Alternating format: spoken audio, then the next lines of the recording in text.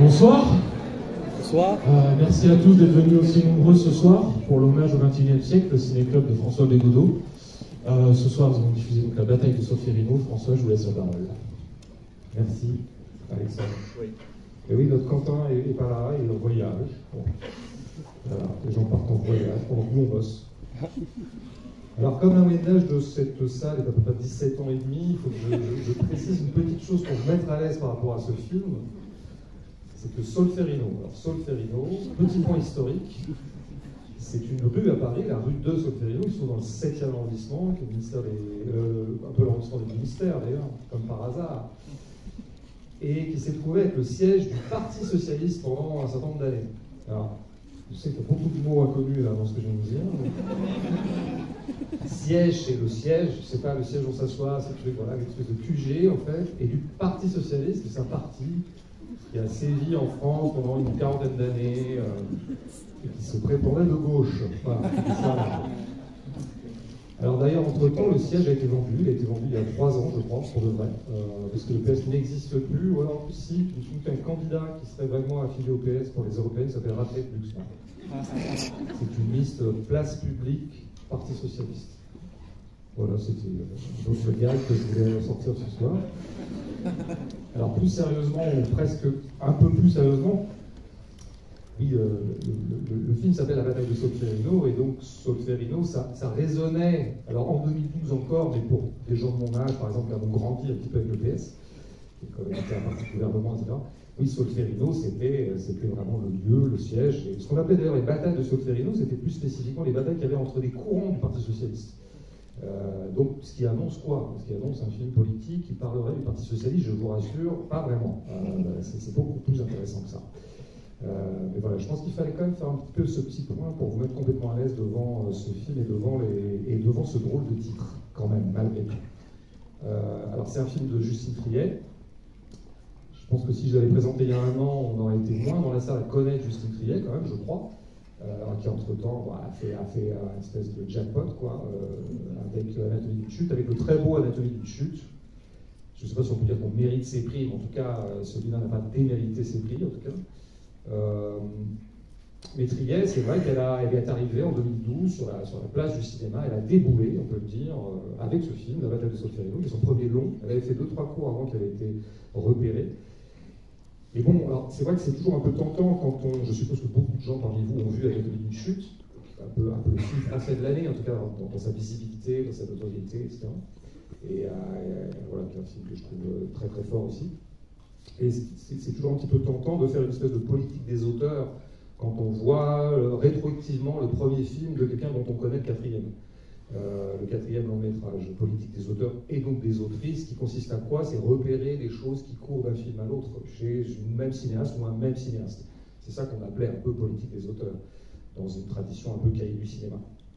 Euh, évidemment, c'est tentant et vous allez vous rendre compte qu'il y avait beaucoup de anatomie d'une chute, je dirais, en germe dans la bataille de Solferino. En tout cas, il y a des éléments dont on peut dire qu'ils étaient un peu avant-coureurs de ce qu'elle allait développer dans euh, Anatomie d'une chute.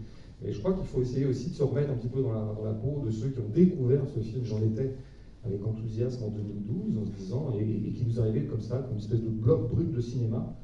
On s'est dit, euh, il y a quelqu'un, quoi. Il y a quelqu'un. Il y a quelqu'un qui s'appelle Justine Triet. Et voilà, je pense qu'il ne faut peut-être pas trop se laisser embarquer dans euh, tout de suite une espèce d'analyse un peu de, de l'auteur Triet qui aurait des obsessions et des thématiques obsessionnelles. Il faut essayer autant que possible de regarder ce film comme une espèce de bloc autonome, parce que je crois qu'il vaut vraiment le coup. Je me demande même si c'est pas le plus grand film de Justine Trier à ce jour. En tout cas, on essaiera d'en parler après. Bon film. Bonne séance tout.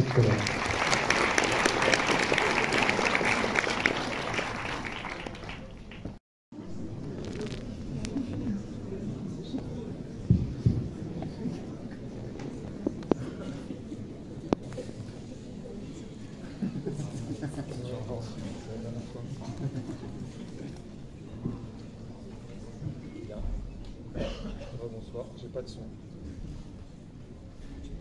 Ok, merci. Oh, bonsoir. Alors, euh...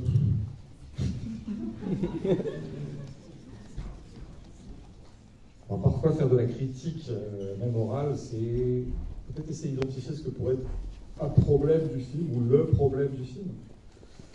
Mais pas un problème au sens où il serait, euh, un, défaut du film, hein, mais au sens où ça pourrait être une entrée problématique.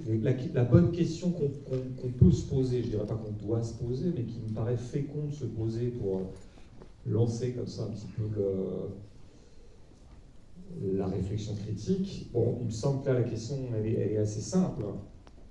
C'est pourquoi Solferino euh, au sens que j'entendais tout à l'heure, à savoir renvoyant à, ce lieu qui est le siège du Parti Socialiste, mais donc à ce lieu qui vaut métonymie un petit peu dans le film de la bataille euh, de l'élection présidentielle. Nous sommes en 2012, nous sommes le 6 mai 2012, c'est l'affrontement entre Hollande et Sarkozy qui donnera lieu à la de Hollande. Donc, pourquoi est-ce que Justine Triet a voulu absolument encastrer, enchasser le film qu'elle avait en tête, qui était probablement, de sa première idée, je pense que c'était de faire ce que j'appellerais un film de divorce. C'est une espèce de genre comme ça, le film de divorce. Les gens se sont mariés, se sont aimés, ils sont divorcés ou séparés, et, euh, il en résulte un certain nombre de problèmes. Il me semble que c'est ça qu'elle a en tête au départ.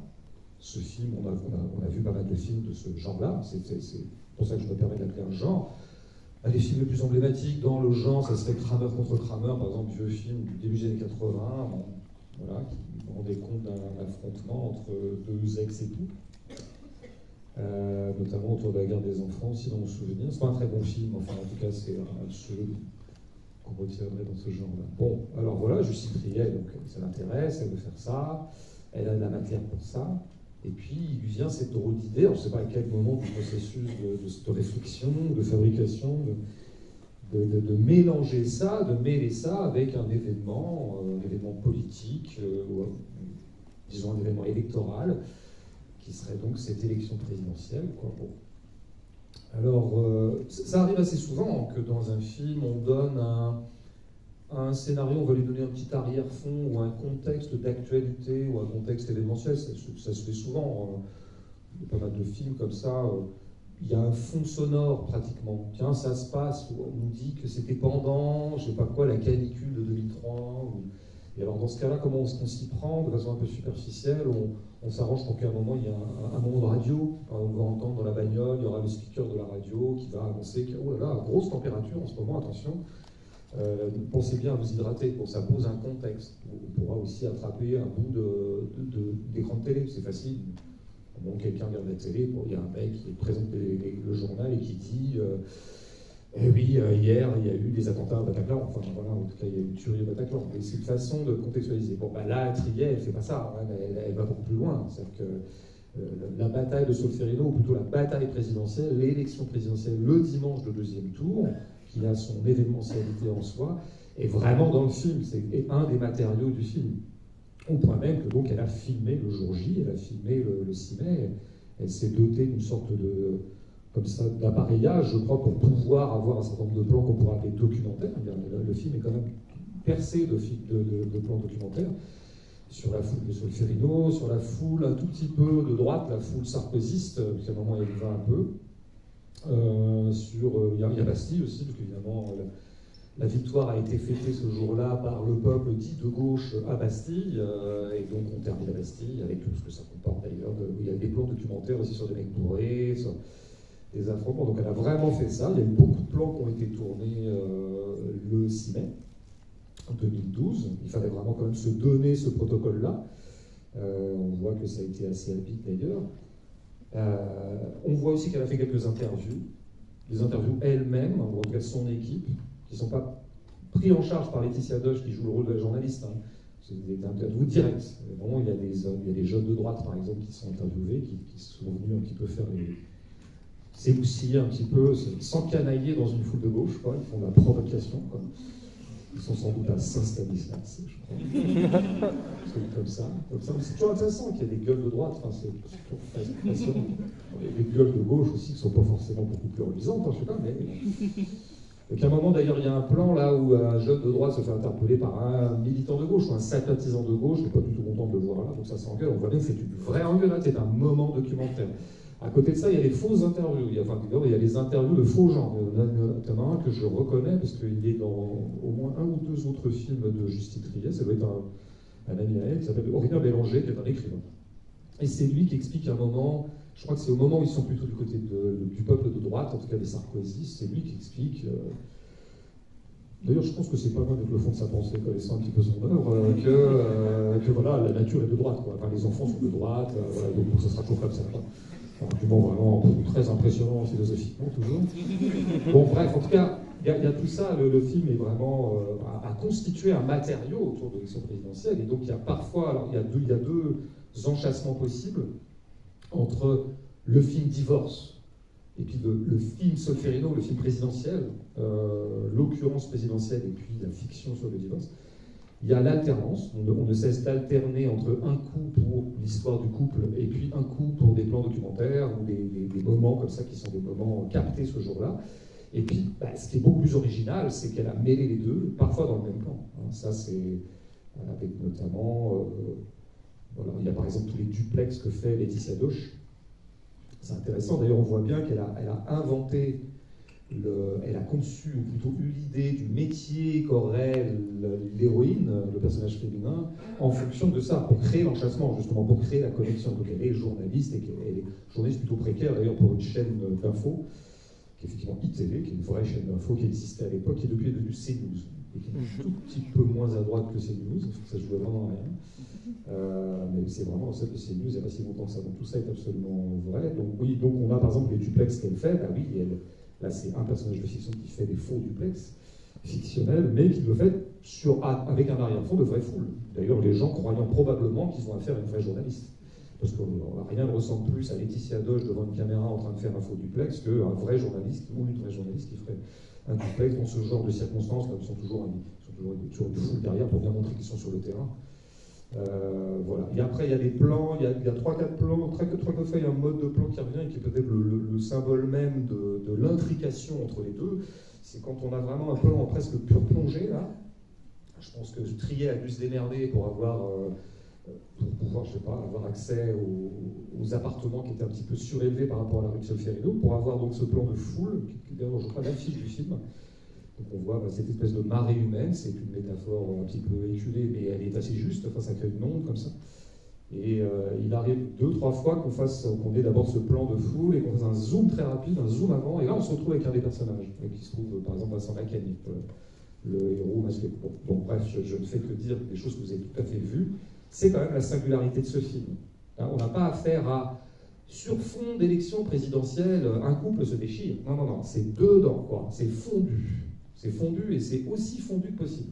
Même s'il y a une troisième partie du film qui est, plutôt un film d'appartement. Euh, je on est vraiment dans l'appartement euh, ex-conjugal et devenu l'appartement de Laetitia seulement.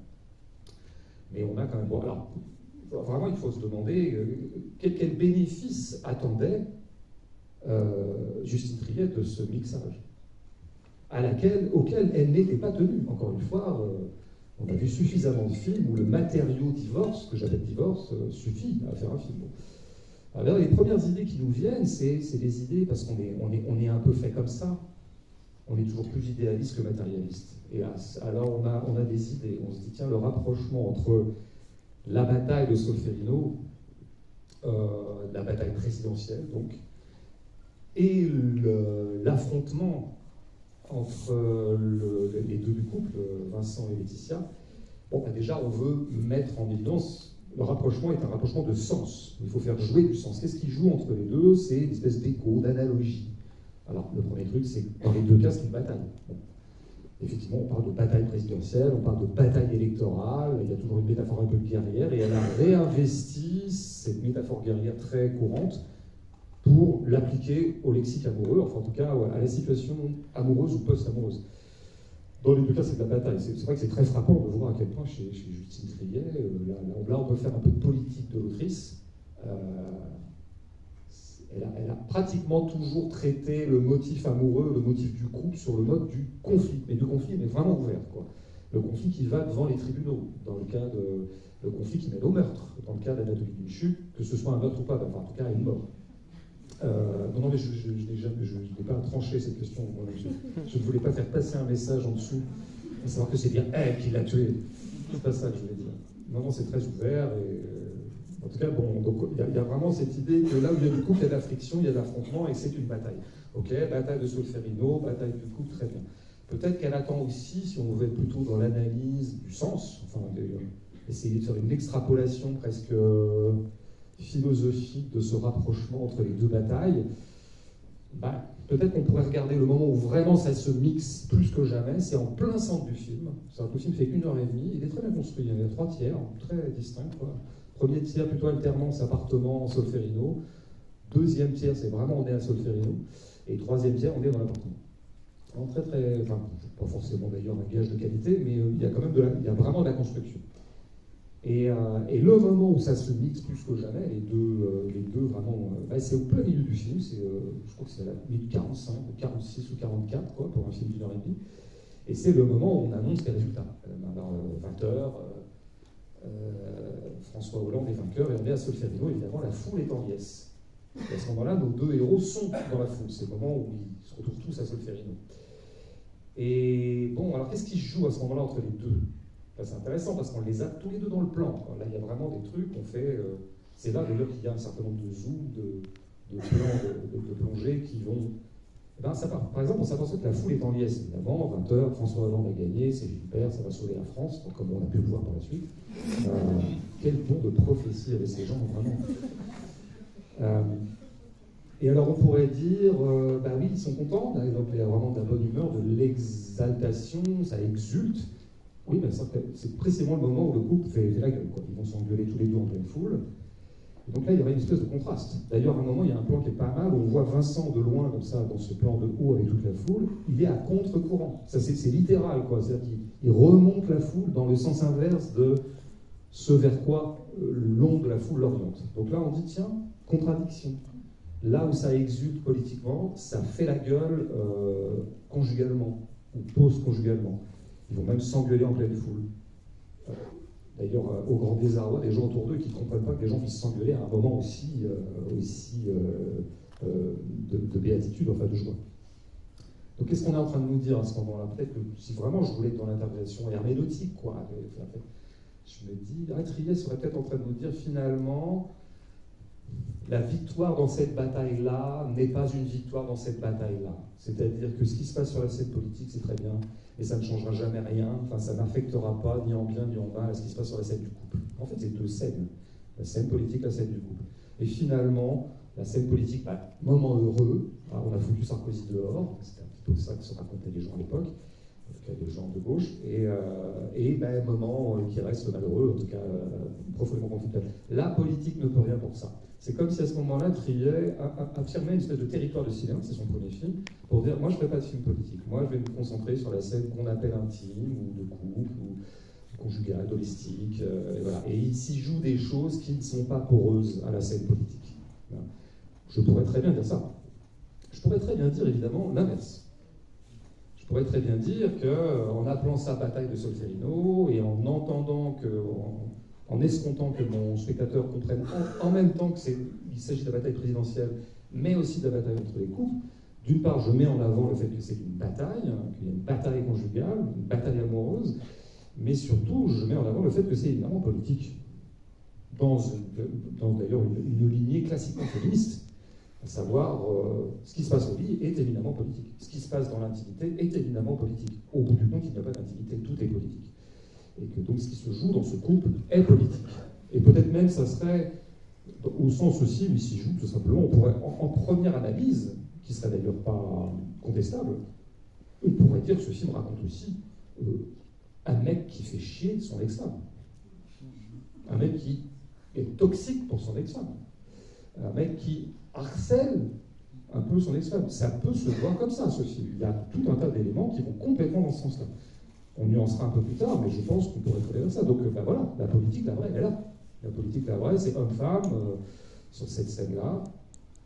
Euh, en tout cas, c'est aussi politique que la, que la bataille présidentielle. on pourrait même dire c'est plus politique. Je pourrais presque faire dire au film que la vraie politique se trouve là. Et ça, oui, à la rigueur, je pense que la vraie politique se trouve là. Oui, moi, c'est un peu ce que j'ai ressenti physiquement en revoyant le film, que j'avais vu à l'époque, que j'avais revu depuis, que j'ai revu un petit peu en vue de ce soir. Et je me suis dit, quand même, entre la puissance d'incarnation de ce qui joue entre les deux héros, euh, disons entre Vincent Maquet et Laetitia Doge, et puis les quelques personnages périphériques, et le caoutchouc superficiel de l'iconographie d'une élection présidentielle, en tout cas d'un dimanche d'élection, je veux dire, la consistance est très clairement du côté du couple. Tout le reste paraît quand même une grande mascarade, surtout à la lumière de ce qui a suivi. Mais, même indépendamment de ça, à la lumière de ce qui a suivi, vraiment les images sont datées, vraiment, c'est, vintage quoi. Mais, mais même, bon, c'est des drapeaux, des gens qui chantent la Marseillaise, des gens qui qui sont contents, on ne sait pas pourquoi. Euh, il y a quand même une espèce d'auto-stimulation. On voit bien, bon, je parle peut-être d'un tempérament personnel, peut-être que moi, ce genre de spectacle m'évoque toujours ce genre de sentiment de, de grande fatuité. Mais il me semble que dans le film, quand même, les éléments de consistance, c'est dans le couple. Donc, comme si l'intensité politique était plus dans le couple que dans la bataille présidentielle relativement superficielle.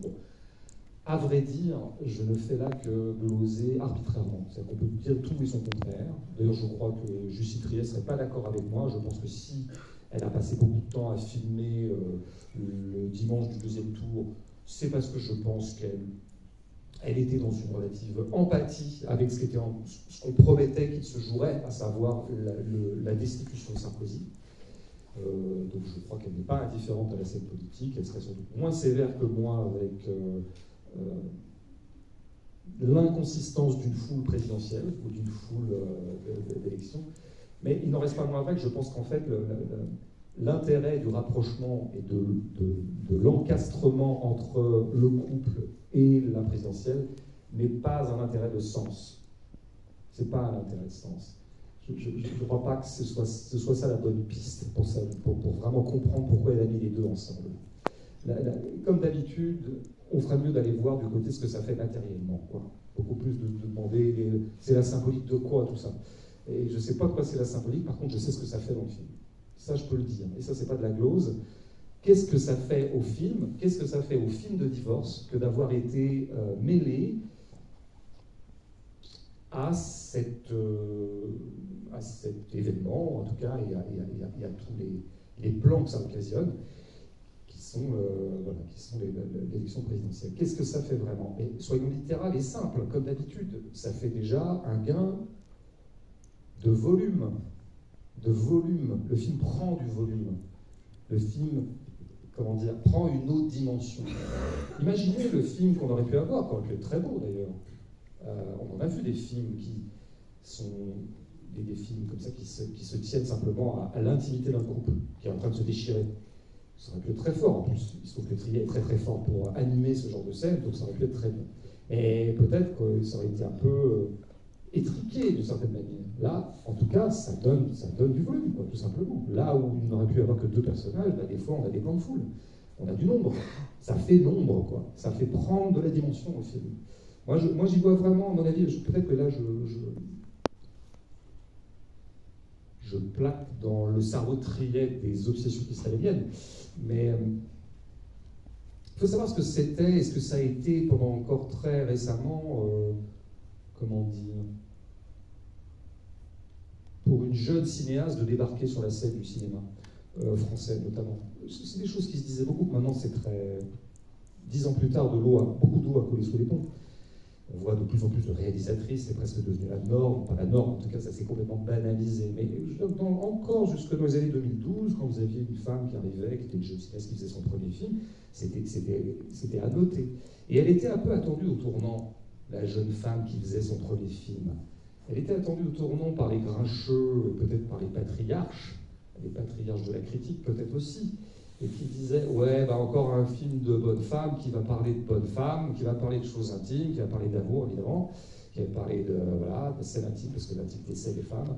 Et puis voilà, bon alors ça sera plus ou moins bien, il y en a qui ont du talent, il y en a qui ont moins de talent, enfin bon c'est toujours un peu ça, c'est comme si ça, ça a signé. Je ne sais pas, quand je vois l'énergie qu'a déployée Justine Trier avec son équipe pour pouvoir absolument attraper du Solferino, euh, et attraper la bataille présidentielle dans son film, parce que c'est ça, c'est une espèce de captation, en fait. Elle capture un moment pour le mettre dans son film. Il faut vraiment le voir comme ça. Moi, je, n'arrive pas à ne pas me dire, à ne pas me dire que c'était aussi pour dire non, non, je ne vais pas faire un film comme ça, justement, étriqué, tel qu'on en voit beaucoup, et qui euh, serait censément euh, l'apanage des jeunes cinéastes femmes. Je vais, je vais donner du, volume à ça. C'est un petit peu ce qu'elle fait aussi dans L'anatomie d'une chute. fondamentalement, on voit ce qui l'intéresse encore, c'est le couple. Dans L'anatomie d'une chute, c'est fondamentalement un film sur un couple, même si on ne voit jamais véritablement ce couple. Euh, mais elle le prend dans un scénario plus vaste qui engage beaucoup d'autres personnages, un procès, etc. Et je crois que ça, ça l'intéresse pas mal, justement, de partir de ce, de ce qui serait la, on va appeler ça la scène domestique, ça s'appelle la maison, et puis euh, de, brancher la scène domestique sur une scène plus vaste. Et donc ça donne des plans plus vastes, ça donne plus d'énergie, c'est aussi une montée en énergie. Je pense que d'aller chercher des plans documentaires, et notamment des plans documentaires qui concernent le 6 mai 2012, où il y avait, comme dans tout dimanche euh, dominical, enfin comme dimanche d'élection, euh, une sorte d'électricité dans l'air, bah, je veux dire, en, filmant, en allant chercher les plans de, cette, élection, de ce dimanche, bah, vous faites un gain d'énergie, vous montez en énergie. En fait, c'est un booster. Voilà. Pour moi, la bataille de Solferino et Solferino dans le film, c'est pour booster le film. Le faire monter en volume, monter en intensité, monter en tension. Et c'est ça que ça produit, de fait. C'est ça que ça produit. C'est que le film est quand même très tendu et très intense, quoi qu'on en pense. Euh, qu'on l'aime plus ou moins. Euh, comme ça. Après, il y a aussi un truc plus classique, c'est que, bien sûr, que la bataille présidentielle, c'est du documentaire. Donc il y a des injections de documentaire dans la fiction. Et que oui, je pense que Justine Triet fait partie de ces cinéastes qui se disent la fiction livrée à elle-même, il y a un moment, elle est en risque de confinement, de confinement, ou de, de petitesse. elle est un peu une fiction qui est toujours livrée à sa propre force, elle risque un peu le vase clos et un peu la dégénérescence, en tout cas la rupture d'énergie. Et donc si vous injectez un peu de documentation, de documentaire, des éléments documentaires dans votre fiction, vous l'aérez, vous lui faites prendre l'air. Elle a voulu faire prendre l'air au film domestique. Elle a voulu faire prendre l'air à la fiction de divorce en allant, en l'emmenant dehors et en la branchant sur une énergie euh, qui était celle de la présidentielle, mais peu importe, ce qu'il fallait, c'était une foule. je pense que ça aurait pu être une autre foule, fondamentalement. Euh, l'opération cinématographique aurait été la même. L'opération de sens, peut-être pas, mais l'opération cinématographique aurait été la même. Donc prendre l'air, je pense que ça c'est. Et c'est un truc qu'elle fait, euh, qu'elle fait, du coup, pas seulement d'ailleurs avec Solferino. Quand, vous, injectez un peu de documentaire dans votre fiction pour justement éviter la malédiction d'une fiction, à savoir qu'à un moment, bah, vous, faites, ne faites que tourner dans le même lieu. Quoi oui, vous tournez en rond. Alors vous injectez un peu de documentaire, ça permet de faire respirer la chose, quoi. ça permet de l'aérer. Mais elle le fait pas simplement avec. Le, le, premier plan où on voit, c'est un plan anecdotique, le premier plan où on voit apparaître Vincent, il est dans la rue, avant de. Voilà, il cherche un magasin pour acheter un cadeau. Et euh, bah, c'est un plan qui est large. C'est un plan de rue avec un plan de volée. C'est intéressant, on parle de plan volé. Vincent marche à 30 mètres de la caméra, et puis là, on attrape des gens qui passent, puis on attrape une rue, une rue qui est voilà, c'est un plan documentaire, comme souvent dans les, dans les fictions. Et, et, Trier le fait dès qu'elle peut, dès qu'elle peut euh, faire sortir un petit peu de. Je pense que d'ailleurs, elle a une stratégie, c'est absolument d'essayer de, conjurer la, surintimité que créerait son sujet. À savoir, mon sujet, c'est le couple, ben, ça va faire des scènes où il y aura elle et lui. Ça va être ça, en fait, pendant deux heures, elle et lui. Bergman a essayé de le faire, enfin l'a fait, scène de la vie conjugale, qui était une téléfilm d'ailleurs, qui durait 6 heures, mais dont la version cinéma dure 2h40. Ouais, ouais, je ne devrais pas dire du mal de Bergman parce que c'est quelqu'un de respectable. Enfin, il y a quand même un moment où euh, on en a un peu marre des deux là. C'est un film qui est pas mal, c'est un film qui n'est pas vécu, mais on a un peu marre des deux. Bon. Elle, on voit bien qu'elle n'a de cesse que de vouloir remplir son plan. Ils mettent des éléments qui, qui conjurerait le, deux. Quoi. donc elle met les personnages, mais elle s'arrange toujours dans l'appartement. Ils ne seront jamais tous les deux seuls, jamais. Euh, il y aura toujours du monde dedans, il y aura toujours plein de. C'est un peu son truc. Par rapport au plan documentaire, il y a un autre truc, par exemple, qu'est-ce qu'elle fait à Bastille? J'ai dit tout à l'heure qu'elle avait filmé à Bastille la fin de soirée, la fameuse fin de soirée où tout le monde devient bourré, les gens se battent. Après ce grand moment de joie. Euh, donc elle filme ses plans, mais elle n'a pas fait que ça. C'est-à-dire qu'à un moment, Laetitia rentre. Elle rentre chez elle. Ah, ça y est, elle a fini son boulot, elle est crevée, elle était sur le pont pendant euh, toute la journée. Et elle rentre. Trier aurait pu résoudre ça en ellipse. Enfin, tout ça, on la voit, voilà, on la retrouve chez elle, quoi. Voilà. Et puis il y a ce moment bizarre, moment bizarre, quoi, où elle marche. Elle, croise un copain à elle, visiblement, sait pas qui c'est ce mec, une espèce de mec à 50 ans, et c'est un copain à elle qui est lui-même avec une fille. Et puis ils rentrent ensemble, ils marchent ensemble. Cette est complètement inutile, donc, totalement inutile. Mais je vois bien qu'elle a envie d'avoir, qu'elle a envie encore un peu d'avoir de l'ambiance de, la Bastille, de, Bastille, elle rentre de Bastille, elle va vers le 13e, je, pense que c'est. Elle rentre par là. Et, euh, et d'ailleurs, c'est filmé beaucoup en plan large, donc les plans serrés, plan large, comme si elle voulait encore attraper un peu de rue. Toujours comme ça. Et puis c'est important qu'elle rencontre quelqu'un. Euh, avec cette scène qui est très bizarre, parce que, un, on ne comprend pas ce que dit le mec. Le mec a l'air de dire des trucs très intelligents, en fait, personne ne comprend sur quoi porte ce débat. Et sa meuf, qui est peut-être rencontrée le soir même, on ne sait pas, est bourrée. Est bourrée et rigole. Euh, mais c'est ça aussi les injections de réel. Injecter du documentaire dans la fiction, c'est injecter les moments d'opacité. La fiction, en tout cas dans son, dans son régime courant, le grand truc de celui qui est en train de fictionner, c'est toujours de vous faire comprendre ce qu'il est en train de faire. C'est l'obsession de quelqu'un qui est en train d'inventer une histoire, une fiction, et qui est en train de vous la servir. Et donc il passe autant de temps à vous la raconter qu'à vous expliquer ce qu'il est en train de vous raconter. Des fois, vous n'auriez pas compris. Vraiment. Et pas seulement dans les mauvais films. Et évidemment, euh, dans les mauvais films surtout, mais pas que. Parce qu'il faut que la fiction soit toujours un peu transparente. Il faut toujours qu'elle soit un peu claire, parce que sinon, si je veux embarquer quelqu'un dans mon histoire, il faut bien que les gens comprennent l'histoire. La question se pose beaucoup moins avec le réel et le documentaire. Vous n'êtes pas en train d'embarquer quelqu'un dans une histoire. Vous êtes en train de lui montrer du réel. Et si c'est opaque, c'est opaque. C'est opaque. Et donc là, vous avez un point documentaire dans cette scène, c'est un point d'opacité. On ne comprendra jamais pourquoi cette fille se marre, pourquoi il est bourré, on ne comprendra jamais de quoi ils ont débattu, et pourquoi à un moment Laetitia dit non, non, mais il y en a marre, euh, il y en a marre de quoi? On ne sait pas. C'est ça aussi, je pense, de, de, faire respirer un peu le film, c'est lui donner parfois des moments d'opacité, euh, paradoxalement. Alors on aura noté que, je crois, je n'ai pas vérifié, mais il me semble que les deux personnes, en l'occurrence, hein, Laetitia Doche est une actrice qu'on a vue comme donc c'est un peu le premier grand rôle, je dirais. On l'a vu beaucoup jouer depuis. Il me semble que c'est le premier vraiment grand rôle. Il a peut-être fait un truc avant, mais je sais. Et puis Vincent Kamens. c'est aussi son deuxième grand rôle, parce qu'avant il avait fait. Euh, c'est quoi, Un monde sans fin de Guillaume Braque C'est comme ça que ça donne Un monde sans fin mais c'est le moment où il émerge, aussi. Mais c'est des comédiens, c'est des comédiens professionnels, comme on dit. Il me semble que là, les deux amis avec lesquels rentre Laetitia euh, ne sont pas des comédiens. Euh, pourquoi, pourquoi il me semble ça Peut-être par, leur mode de présence, mais aussi parce que Justine Triet est coutumière du fait. Elle le fait dès, la bataille de Solferino, mais elle le fait aussi dans la bataille de chute, elle le fait aussi dans Victoria, elle le fait aussi dans Sibylle, qui est son troisième film. Elle aime bien faire jouer des gens qui ne sont pas des comédiens professionnels, ce qui est une façon aussi d'injecter un peu de, de faire respirer la fiction. Parce qu'effectivement, s'il n'y a que les comédiens professionnels, on connaît un petit peu les marottes sur ces questions-là. Euh, j'aime beaucoup les comédiens professionnels, mais le problème c'est qu'ils ont toujours toujours la même gueule, et voilà. Donc c'est pas mal. Si vous injectez, si vous mettez des acteurs non professionnels, et ben, tout de suite ça met un petit cachet. Ça fait sortir le, cinéma de, je dirais, sa zone de confort, pour prendre une expression euh, bien euh. Mais, mais, mais, elle est tellement juste cette expression, hélas. oui, il y a une zone de confort à un moment, tous les tournages de cinéma, comment dire, un grand film, un bon film se gagne toujours contre la routine qui s'installe dans tout tournage de cinéma. C'est comme ça qu'on fait les plans, c'est comme ça qu'on fait. Il y a toute une standardisation qui se met en place sur un plateau de cinéma qui est redoutable. Tous les gens qui ont connu ça le savent. Et donc, le film se gagnera contre cette routine-là. Il faut affoler cette routine, il faut injecter des éléments exogènes. Parce que sinon, ça va tourner en rond. Et donc, injecter des éléments exogènes, c'est par exemple injecter des gens qui ne sont pas des comédiens professionnels ce que fait beaucoup Justine Triet, et pour le meilleur. Et pour le meilleur. Il y en a deux, notamment dans ce film, qui sont tout à fait inoubliables, en tout cas à mon goût. Euh, le babysitter, euh, enfin, je veux dire, vous n'oublierez jamais ce, ce, garçon.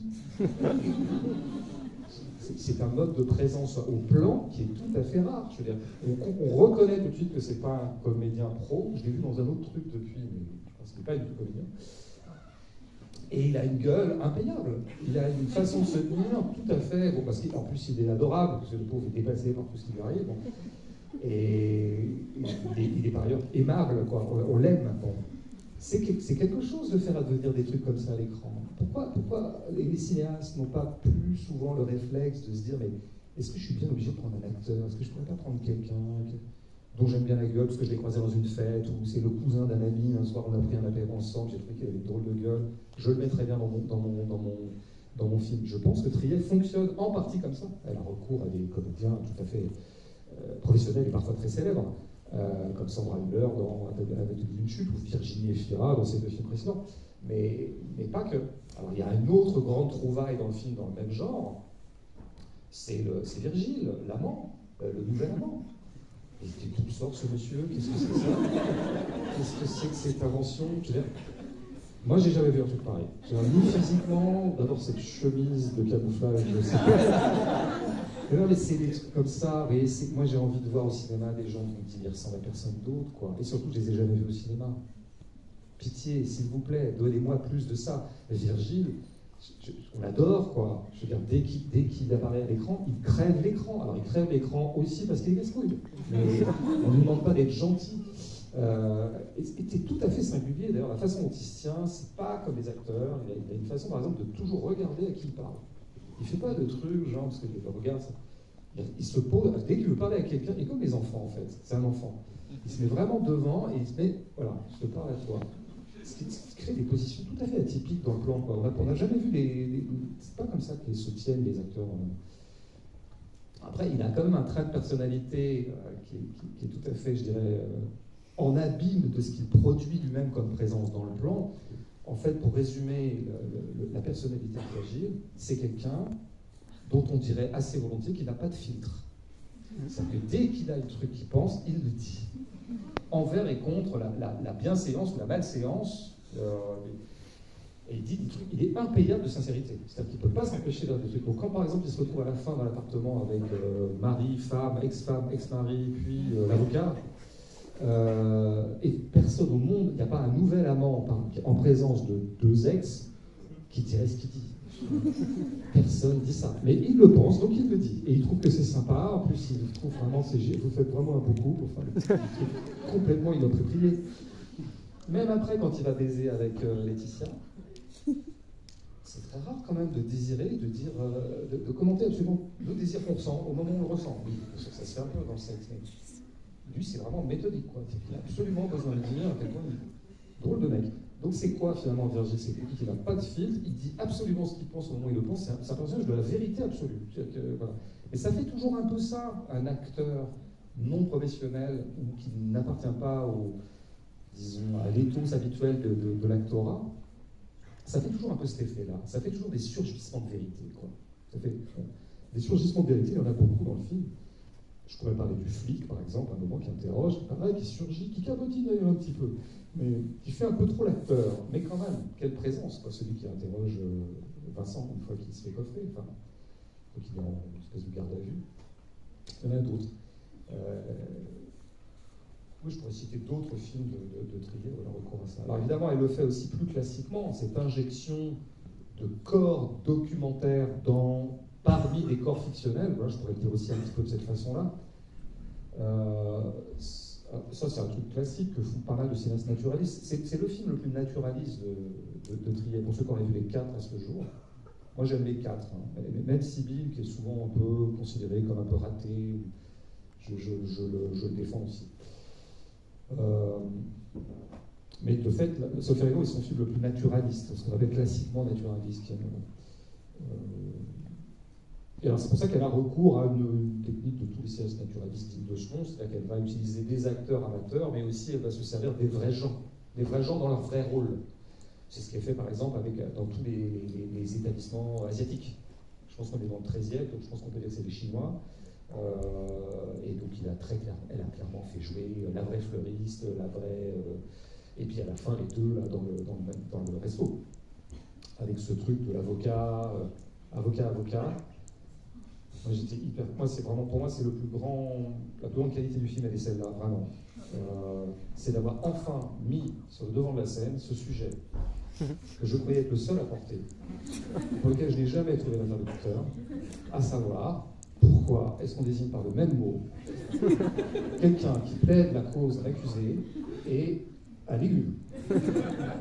Chaque fois que j'ai posé cette question, et ça fait 30 ans que je la pose, et tous les gens qui me connaissent sont témoins, vraiment, À chaque fois, j'ai essuyé non seulement une indifférence, personne n'a voulu réfléchir avec moi, mais surtout, je n'ai aucune réponse. Donc vraiment, voilà, c'est tout ce que j'ai à dire sur la bataille de Solferino, de Justine Trier. Bon, donc voilà, bon, alors ces femmes asiatiques, elles existent, cette scène elle est géniale à la fin, là, dans, dans le resto, il y a plein de choses à en dire. Bon, il y a ça, on se sert de ça. Bon, autre élément documentaire que j'ai injecté dans le plan, parce que justement pour faire respirer le plan, pour essayer de, voilà, de, le sortir de, de, la direction un peu monochrome dans laquelle il, a tendance à s'engager, euh, évidemment la chienne. Évidemment la chienne. On ne va pas redire à quel point les, les, les, animaux sont toujours les meilleurs acteurs du monde, on le sait, ça c'est établi. Mais moi je suis toujours très étonné qu'on s'en sert pas plus dans la fiction. C'est un peu galère parfois sur le tournage, mais justement, il faut que ce soit galère. Parce que si c'est galère, du coup, peut-être qu'il se passera quelque chose. Bon, fallait quand même avoir cette idée, je ne sais pas d'où c'est venu, peut-être que cette chienne est vraiment la chienne d'Arthur Harari, celui qui joue le pseudo-avocat, qui est donc le compagnon de Justine Triet, et le co-scénariste d'Anatomie d'une chute. Je pense qu'on les a suffisamment vus récemment pour que tout le monde soit un peu au courant.